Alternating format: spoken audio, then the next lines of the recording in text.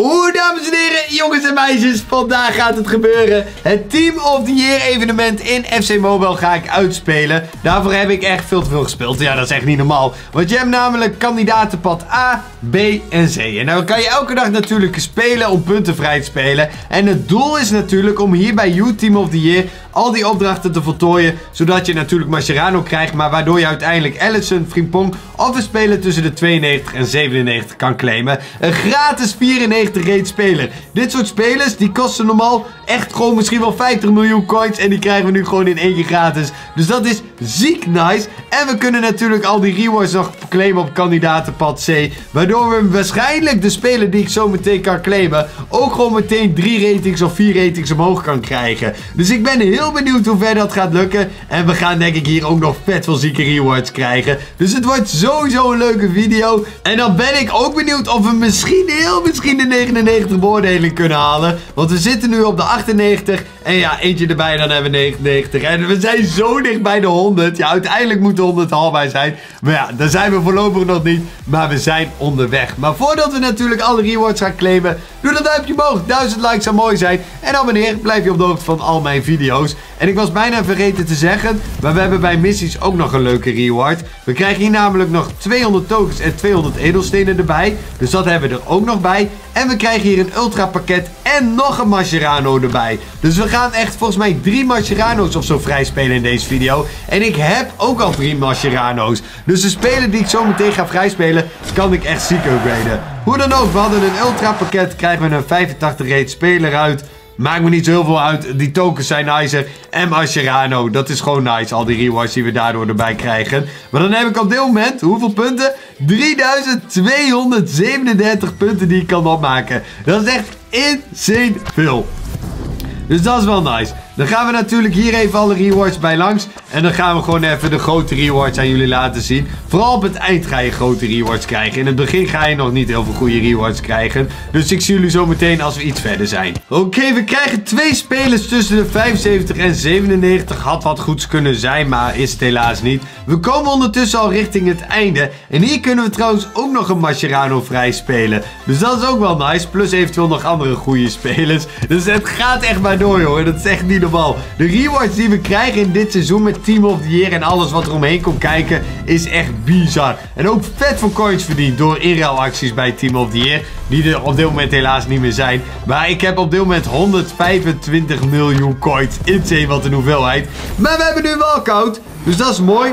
Argentinië, centraal verdedigende middenvelder. Ik denk niet dat dit een hele goede walkout is. Nee, 84. Dat valt zeer zeker weten een beetje tegen. Hier kan je voor Mascherano gaan.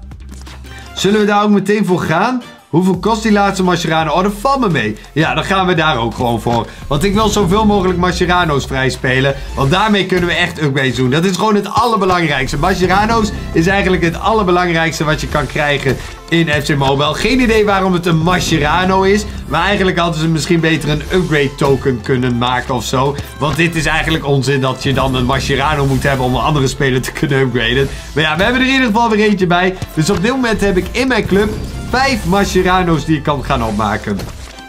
Gaan we hier nog wat rewards openen. En dan kunnen we zo meteen eventjes kijken hoeveel rewards ik in totaal heb geopend. Want in totaal moeten we de 30 openen om uh, bij You Team of the Year die opdrachten te kunnen voltooien. En ik denk dat we er al wel bijna zijn. Uh, deze kunnen we nog claimen. En dan hebben we nog eentje te gaan. En dan heb ik het basispad voltooid. Dan heb ik alle bonus rewards nog niet geclaimd. Maar dat kan misschien uh, binnenkort. We krijgen nu nog een Team of the Year van 85. Dat is op zich wel nice. Maar hoeveel rewards heb ik nu geclaimd? We zitten op de 25. Dus ik moet er nog 5 claimen. En dan hebben we het gehaald. Volgens mij is dat niet echt een probleem, want ik heb genoeg punten. Inderdaad, dat is geen enkel probleem. We zouden voor Eudegaard kunnen gaan. En is dit tradable wat we dan kunnen krijgen? We gaan hier wel voor. Want dan is het volgens mij een tradable speler. En mochten we iets goeds krijgen, dan zouden we die in principe kunnen gaan verkopen. En dan hebben we in ieder geval nog een 90 plus of was het 89 plus wat je zou kunnen krijgen. Ik ben het nu even vergeten, maar we krijgen een 90 rated speler. Die we kunnen verkopen. Ja, dat is toch weer 3 miljoen coins in de pocket. Die ik anders niet had gekregen omdat die andere spelers een tradable waren. Dus dat is op zich leuk meegenomen. Dat nu hoef ik niet. Hier ga ik ook voor deze. Want deze is dan ook tradable. Dus dan heb ik nu nog drie rewards hierna die ik moet openen. En op deze manier verdienen we ook nog mooi coins erbij. Nigeria, Spits. En dit is natuurlijk Oshiman. Die is 88. Alleen denk ik niet dat hij verkoopt. Oh, die verkoopt wel. Dus dat is weer een miljoen coins erbij. Ah, dat is wel lekker. Dus dan verdienen we nog best wel wat coins op die manier. Hier hebben we nog een pakketje die we kunnen openen.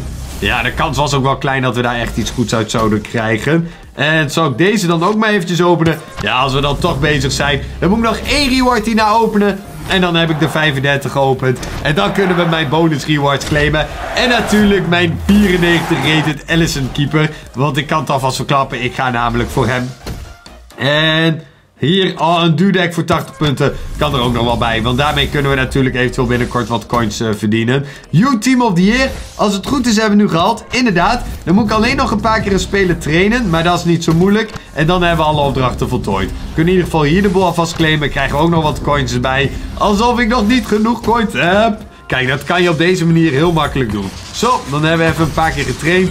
Als het goed is hebben we nu wel voldoende. En dan hebben we die opdracht al voltooid. Inderdaad, die opdracht is voltooid. 200 edelstenen erbij. Spelen we nu Mascherano vrij. Dus dat is mooi. Dus dat is weer een Mascherano erbij. We hebben zes Mascherano's die we kunnen gaan opmaken. Maar nu komt het mooiste. Waar het natuurlijk allemaal om draait. Dit Team of the Year evenement. Een gratis 94 rate Team of the Year. Je kan natuurlijk ook hiervoor gaan. En dan is de kans ook dat je een goede krijgt. Maar eigenlijk weet ik uit ervaring dat je altijd een 92 of 93 krijgt. Je krijgt nooit een betere. Dus ik ga voor Allison. Want dat is gewoon een speler die ik kan gebruiken in mijn team. Is beter dan Neuer die ik nu in mijn team heb staan. Dus dit is gewoon een goede upgrade voor in mijn team. Wat ik 100% zeker weet. Dus ik ga voor zekerheid. En dat betekent dat we nu Allison 94 rated team of the year in mijn team hebben. En die is 100 miljoen coins waard. Wow, yo, ik drukte er even snel doorheen. Maar hij heeft dus een waarde van 100 miljoen coins. Dat is echt insane. Dan ga ik uh, wisselen. En die kan ik dan binnenkort eventueel verkopen. Of dat ga ik nu zo meteen al doen. En daarmee gaan we sowieso ziek veel verdienen. Maar laat ik eerst maar eventjes Allison gaan upgraden. Of in rank omhoog. Want die kan ik namelijk nog een paar keer uh, omhoog krijgen qua rank. Dan is hij nu 95. En ik zag trouwens dat we een beoordeling omlaag hadden gekregen net. Dus ik hoop dat hij zo meteen wel weer omhoog gaat. Um, ik doe duiken wel.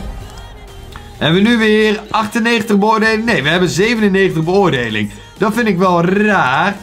Want qua rating zijn we eigenlijk helemaal niet omlaag gegaan. Nou ja, we gaan er gewoon door met upgraden. En misschien schiet hij zo meteen weer terug naar de 98. Maar wel bijzonder hoe die beoordelingssysteem af en toe een beetje werkt. Oké, kunnen we hier weer eventjes een duik upgrade doen. En dan hebben we zo meteen 97 rated uh, Allison in mijn team. Ik denk dat ik die laatste twee Mascherano's ga bewaren. Want anders heb je kans dat die laatste upgrade weer niet gaat lukken. En dat zal wel erg zonde zijn. Dan doen we duiken nog eventjes eentje upgraden. Ja, en dan ga ik mijn spelers wel even trainen. En dan hebben we gewoon 97 rated Allison. Oké, de beoordeling is weer terug naar 98. Eh, dat scheelt weer. Maar ja, geen 99 beoordeling op dit moment nog. Ik zal eventjes auto selecteren. En doe ik even tot niveau 15. Dan hebben we weer lekkere upgrades erbij. En ik heb genoeg spelers, dus dat is helemaal prima. Dan gaan de statistieken echt in één keer gigantisch omhoog. Dat is wel echt lijp. Maar een mooie team of die hier erbij. En daar heb ik niks voor hoeven uitgeven. Dus dat is wel echt nice. Gewoon gratis. Sterker nog, ik ga waarschijnlijk heel veel coins verdienen. Want Neuer kan ik nu verkopen. En die is nog 33 miljoen coins waard. Oh, sterker nog, die is nog meer waard. Dan zet ik hem eh, voor hetzelfde bedrag op wat de goedkoopste hier is. Dan hebben we zo meteen Weer 30 miljoen coins erbij. Dan zitten we op de 150 miljoen coins die je kan opmaken. Insane wat een hoeveelheid, jongen. Dat is echt niet normaal veel. En jou kan ik natuurlijk ook nog verkopen. Dus dat is ook mooi. Dus dat is ook weer gewoon uh, bijna 4 miljoen coins erbij. En we hadden Oshiman volgens mij nog. Oh, Rodri. Die verkoopt denk ik niet zo. Nee, inderdaad, die verkoopt niet. Maar Oshiman verkoopt wel.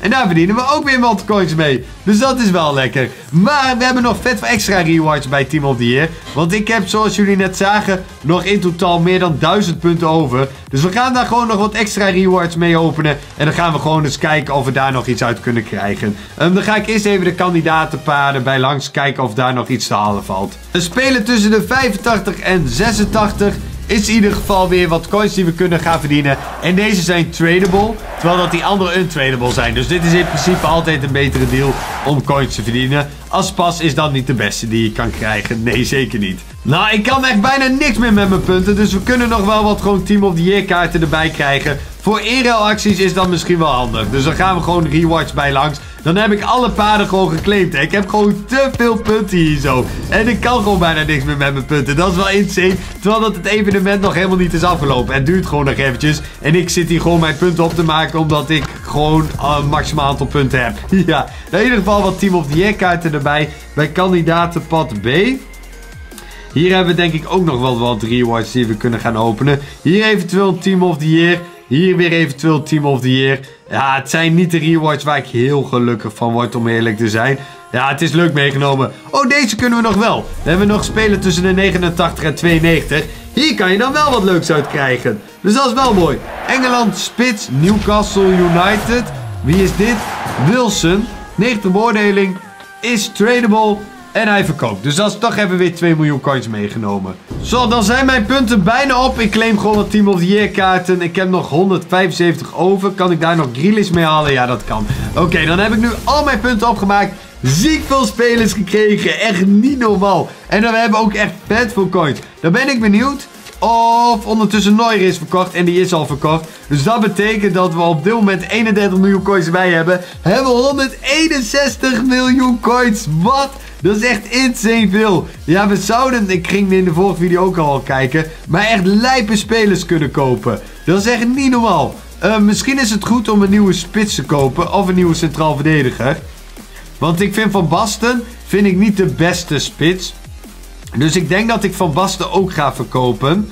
Ja, dan gaan we dat ook doen. En dan gaan we eens kijken of we de 100 miljoen kunnen halen. Oh nee, Van Basten is helemaal niet zo heel veel waard. Ik dacht echt dat hij vet veel waard zou zijn. Hij is in totaal 22 miljoen coins. Ik verkoop hem, dan heb ik meteen die coins erbij. En dan zitten we op de 180 miljoen coins. Dan gaan we daarmee een nieuwe spits kopen. Dus dan hebben we echt twee zieke spelers erbij in deze video. Ja, Van Basten verkocht. Inderdaad, 182 miljoen coins hebben we op dit moment. Moet ik even kijken naar een goede spitspositie. Ik doe wel vanaf 95. En dan gaan we eens kijken of we een spits kunnen krijgen van 100 beoordeling. We zouden Haaland kunnen kopen, maar ik heb Haaland al. Dus dat is, dat is wat minder. We hebben hier Sanchez. En die is ook wel lijp hoor.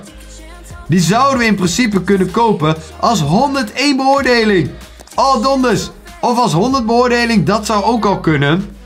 En dan houden we nog gewoon coins over. Ik denk dat ik dit ga doen. Ik ga mijn eerste 100 rated spelen kopen. Stel ik wil Haaland als 100 rated hebben. Die is 150 miljoen coins. Dus deze is in verhouding ietsjes goedkoper. Nou, deze is vet veel goedkoper. Ik ga hem gewoon kopen. Ik ga gewoon 125 miljoen coins bieden. En dan ga ik hem kopen. En dan heb ik mijn eerste 100 rated speler ooit in mijn team. Wow, dit is wel echt heel erg nice. Dan heb ik nog steeds 57 miljoen coins over. En daar zouden we dan binnenkort een keer een uh, nieuwe speler mee kunnen kopen. Maar mijn eerste 100 rated speler in mijn team is een feit. Hij is nu gekocht. Ja, inderdaad. Spelen claimen. Wow, dit is echt insane. Dan ben ik benieuwd of we nu dan een beoordeling mogen gaan. Want nu krijgen we er echt in één keer heel veel bij. Uh, Sanchez gaat hierin staan. Wow, yo, dit is echt heel erg nice. Ik ga hem ook meteen dik upgraden. Helaas is hij niet... Of is mijn beoordeling nog niet naar de 99, dus dat is jammer. Maar we gaan hem natuurlijk qua statistieken eventjes uh, omhoog doen. Dan ga ik hem ook upgraden naar rank level 15.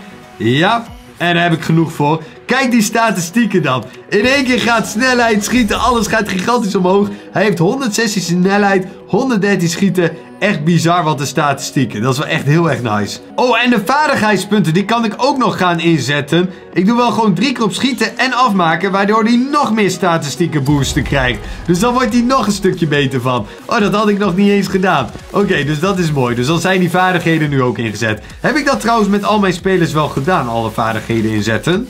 Nee, dat heb ik niet eens met alles gedaan. Dus dat moet ik wel even doen. Want daar worden spelers namelijk wel beter van. Oké, ik heb even alle spelers bij langs gegaan. En nu hebben ze allemaal vaardigheidspunten. Echt ziek wat een team. Maar helemaal nice dat we mijn eerste 100 beoordelingsspeler hebben. Insane. Binnenkort maar eens een andere speler koop voor Rudiger van 94. Dat is nu eigenlijk mijn minste speler. Dus dan gaan we daar binnenkort even naar kijken. Maar voor nu laat ik het erbij. Ik bedank jullie voor het kijken. En dan heb ik tot slot nog mening te zeggen. En dat is natuurlijk, ik zie jullie later bazen. Als jij nou onmiddellijk hebt genoten van deze video, dan vind je de video die hier komt te staan waarschijnlijk ook wel leuk. Dus dan eh, kan je die nog even checken. En druk hierop, dan kan je abonneren en blijf je op de hoogte van al mijn video's. En nog één laatste iets. En dat is het allerlaatste van deze video. Check voor de Boos kleding. Hoi.